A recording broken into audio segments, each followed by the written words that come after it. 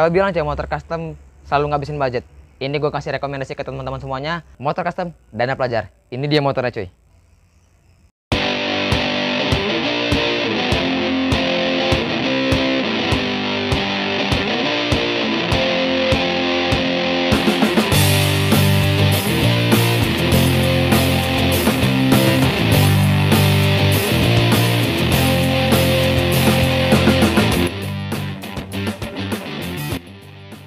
Halo cuy, gua Alfa, balik lagi di channel gua. So, video kali ini kita nge-review motor custom lagi teman-teman. Dan by the way sorry banget ya kalau ada noise suara masjid bunyi karena emang ini kita syuting lagi jam zuhur teman-teman.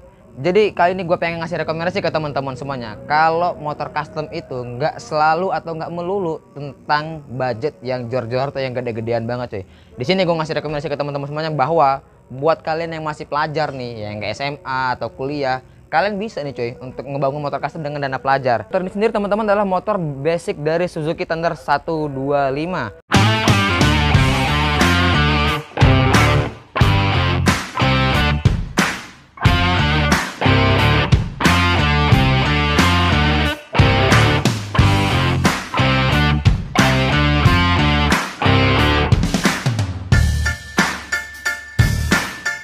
Ini Thunder 125 teman-teman, bukan yang Thunder 2,5 dan basic ini adalah jarang banget yang kita temuin di kalangan motor-motor custom nih cuy ya baru beberapa sekarang bengkel yang udah mulai ngulik-ngulik lagi nih motor karena memang nih motor punya potensi buat untuk di custom secara dari rangka dan parts-partsnya juga itu emang udah customable banget teman-teman ya Nah ini motor basic dari Suzuki Thunder 125 tahun 2007 kalau nggak salah teman-teman bukan tahun pertamanya yang sudah ada engkol atau kickstarternya. Ini di custom dengan konsep gaya bobber, bobber atau Viro teman-teman. Seperti biasa kita mulai bagian dari kaki-kakinya cuy.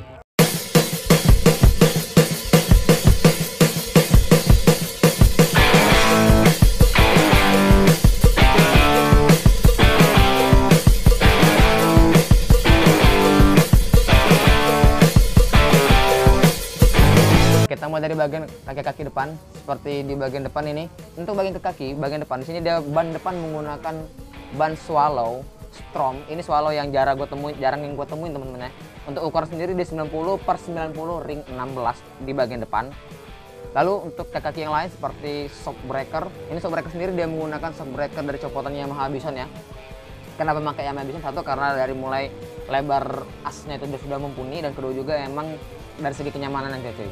Nah untuk velg sendiri teman-teman, ini dia velgnya menggunakan velg palang dari yang kalau kalian lihat ini velg palang yang jarang banget kita temuin cuy.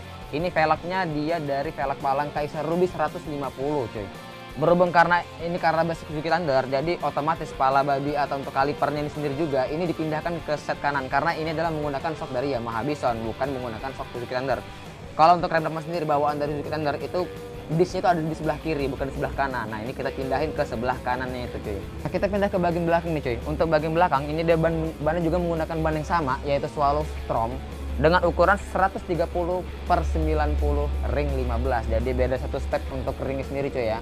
Lalu untuk velg panel juga sama dia juga menggunakan velg palang dari Kaiser Ruby 150 untuk bagian armnya sendiri ini armnya masih tetap menggunakan arm dari Suzuki Thunder ini dia tadi yang gue bilang cuy. Kalau basic dari Suzuki Thunder sendiri emang udah customable banget teman-teman. Jadi untuk kayak bagian urusan kaki-kaki itu masih cocok. Dikarenakan swing arm dari Suzuki Thunder ini itu dia bentuknya bulat cuy. Seperti halnya arm-arm custom umumnya di luar sana yang teman-teman builder pakai. Nah kalau untuk urusan kaki-kaki sih kurang lebih kayak teman-teman. Kita pindah ke bagian urusan frame atau rangka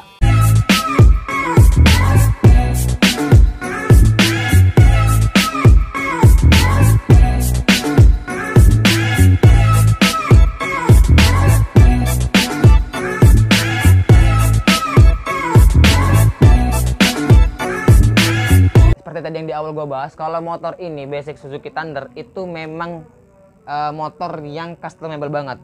Soal urusan rangka-rangka atau frame, ini rangka Thunder cuman hanya bagian di sini doang cuy yang kita ambil, yang kita potong. Selebihnya itu masih original semua. Dan dengan masih menggunakan rangka yang original, menurut gue ini motor masih presisi untuk dibikin custom. Jadi nggak perlu motong rangka banyak-banyak. Jadi di sini kita bikin bobor, kita bikin drop, di sini kita potong di bagian belakangnya udah nggak ada lagi rangkanya nih cuy. Jadi emang rangkanya itu benar-benar flat. Nah motor ini bisa untuk cocok dibuat digunakan dengan konsep style cover racer, tracker atau scrambler. Chopper sekalipun juga mungkin cocok cuy. Karena ada kan beberapa bengkel custom di luar sana juga yang menggunakan basic standar ini sendiri. Urusan pakai body body di sini body body semuanya handmade. Tuh untuk bagian spakbor depan belakang, bodi kanan kiri dan juga tangki itu dia menggunakan bahan menggunakan plat galvanis dengan ketebalan 1 hingga 1,2 mili cuy. Seperti pada umumnya aja. Di sini untuk urusan warna body body sendiri kenapa dipilih warna biru karena emang ini tetap mengikuti dari aturan surat menyurat dari motor ini sendiri cuy. Body body kurang lebih seperti itu cuy. Untuk bagian urusan spare part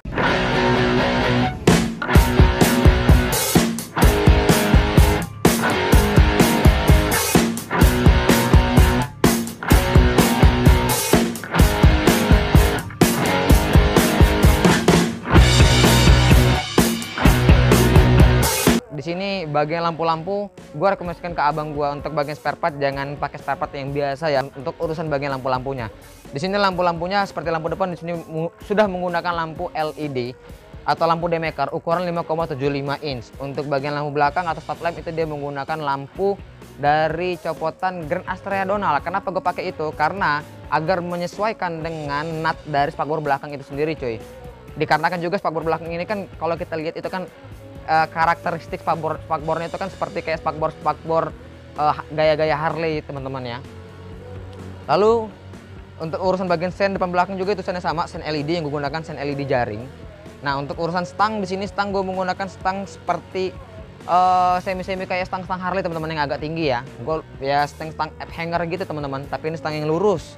Jadi ini kalau gue bawanya itu nyaman banget sejajar sama dada gue dan tuh enak untuk urusan spare part lain seperti speedometer sini speedometer gue menggunakan speedometer digitalnya yang custom pada umumnya yang bulat.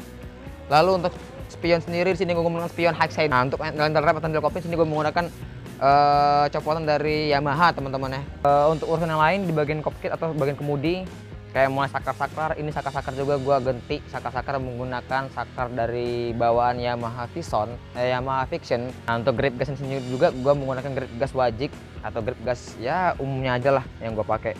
Nah gue lupa tadi tuh untuk bagian urusan kaki, kaki belakang. Untuk shock breaker belakang ini gue menggunakan shock breaker aftermarket. Untuk tingginya sendiri di, di sini gue menggunakan untuk tinggi 340 mm atau 34 cm tuh ya. Cuman ditinggikan lagi karena emang eh, spakbor belakang ini karena suka mentok cuy sama ban. Dan secara bobot owner motor ini adalah atau bobot brother gue sendiri itu emang cukup lumayan. Jadi sehingga ini dibikin tinggi lagi sekitar 5 sentian cuy untuk di bagian sobrakernya jadi kayak ke sana sobrakernya dibikin keras teman-teman. Tapi nggak mati ya tetap masih main dia ribonnya. Lanjut untuk di bagian jok sendiri ini joknya gue suka banget. Dan emang secara ini joknya kalau buat teman-teman yang udah ikutin video gue ini joknya atau kulit joknya kemarin yang udah gue bikin ulang sama abang gue untuk sendiri ini handmade untuk plat untuk bagian bawahnya dia menggunakan plat. Lalu untuk busa sendiri ini di cover dengan kulit sintetis dengan motif dua satu polos bagian belakang dan tengah-tengahnya dia menggunakan motif wajik ala-ala Harley coy. Jadi biar, biar looks Harley itu dapat banget.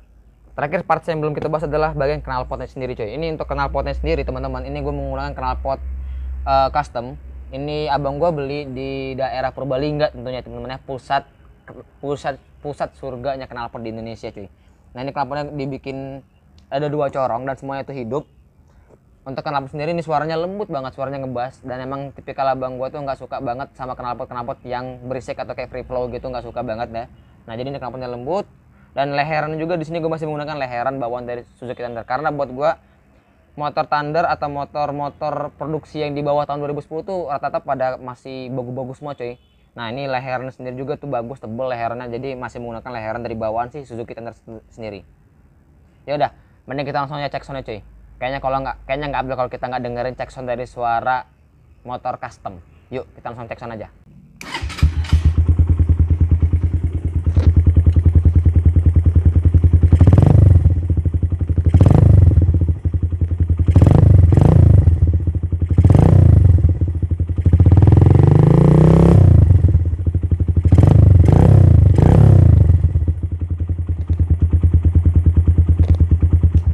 Nah itu dia cuy tadi syarat untuk kenal pot Suzuki Thunder sendiri. Soalnya karakternya tuh lembut banget cuy. Dibilang racing juga ya emang racing Tampilannya juga racing gitu kan untuk suaranya maksudnya ya.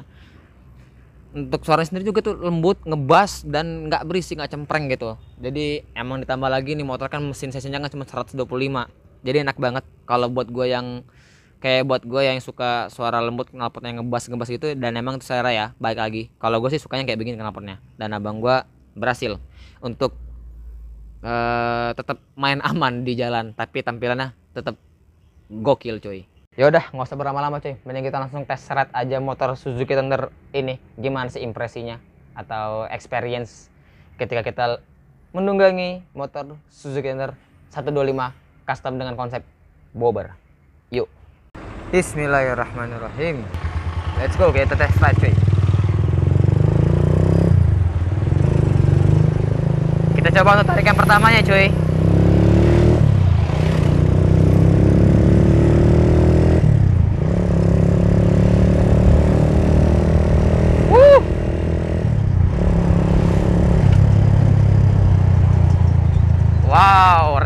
Ngelos.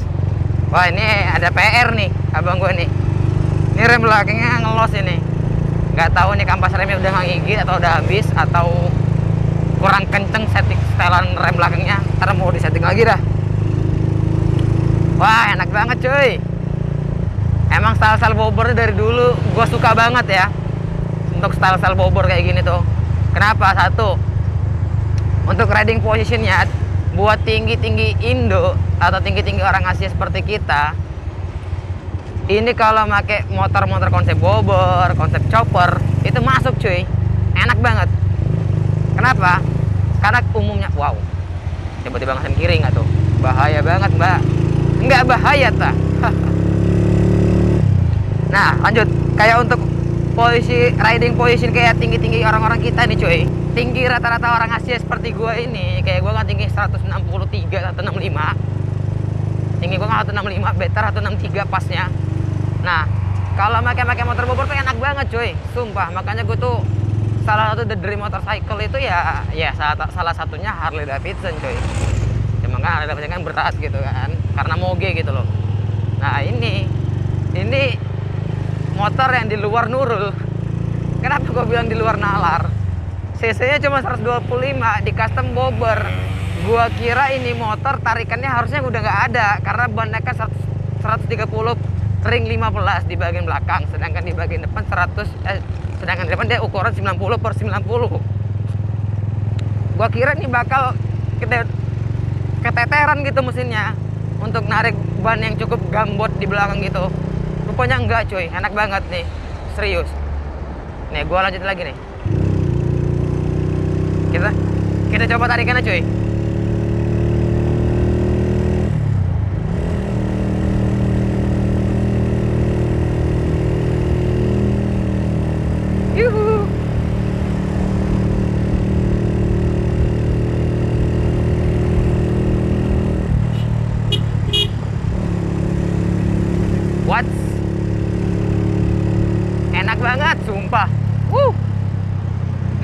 belakangnya bahaya nih gue nggak bisa gue nggak bisa terlalu narik. Yang terlalu gaspol banget cuy. Soalnya rem belakangnya ngelos. Uh.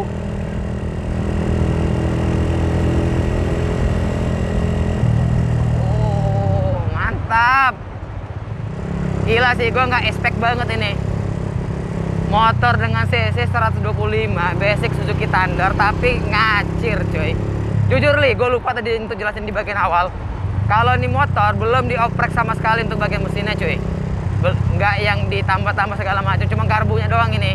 Kalau ngomongin soal performa kenapa dia lebih kencang karena di karbu menggunakan karbu king. Tapi ini untuk kalau segi mesin ini belum di upgrade belum di bore up. Pokoknya dalamannya masih original semua cuy dah nyantai enak banget. Bawa motor gini tuh bukan untuk kebut-kebutan ya cuy buat, buat untuk nyantai asik banget sih. Yuk oh handlingnya enak banget coy. Ini by the way bangunan masjid terbaru tempat gua tuh. Wih keren ya. Uh gokil enak banget coy. Asik. Nah kenapa gue bilang gue suka bobor riding posisinya itu cuy. Kaki gue selonjor enak banget. Ini kalau buat dibawa touring enak banget. Ditambah lagi nih bagian belakangnya kan ada pelindung tulang ekor di bagian belakang. Ini kan single seater jadi wah buat nyaman banget. Stangnya udah tinggi sedada agak lebar. Uh enak banget cuy. Oh ini dia lomba game cuy. Lomba game ML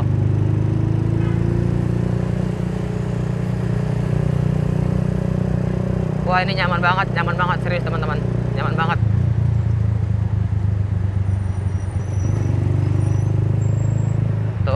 selap selip enak banget. Ini rekomendasi dari gua sendiri sih cuy buat abang gua. Karena kan secara dia baru pertama kali bangun custom motor. Jadi gue pengen ngasih dia yang mesin-mesin sisanya kecil-kecil aja cuy. Ya tangkap pak polisi.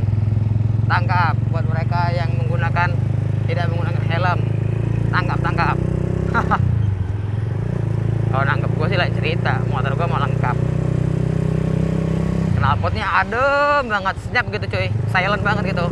Cuman tetap ya kayak knalpot knalpot bobokan gitu suaranya. Adem banget enak cuy.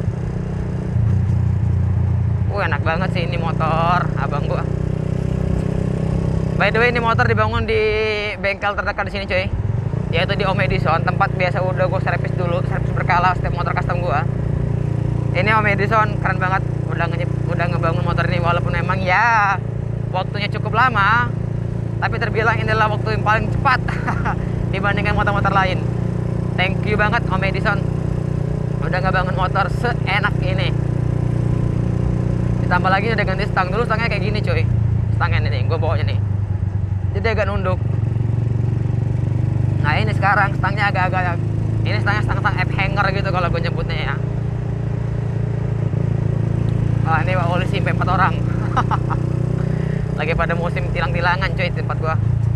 Ini by way enak banget motornya cuy. Ah tarikan lumayan so far tarikan enak. Kaki-kaki enak semuanya nyaman. Riding position enak. Ini motor gua kasih angka 9 sih segi kenyamanan dan segi itu semuanya sih. Tinggal palingan kalau misalkan mau dipakai touring ini tenaga sih anaknya di upgrade sedikit ya di bore up. Karena ini terbilang napasnya masih pendek-pendek banget cuy ya. Malum lah sesuai ya dengan cc nya cuy cc nya kan 125 cc jadi malum lah ya kalau dia pendek-pendek napasnya. Makanya kata gue tadi kalau misalkan di board up ke 150 atau 175 enak banget sih. Gue nggak nyangka kalau Thunder bisa seenak ini Thunder cuy kita bentar lagi mau nyampe. Yaudah sekarang kita balikin lagi. Sekarang kita balik ke tempat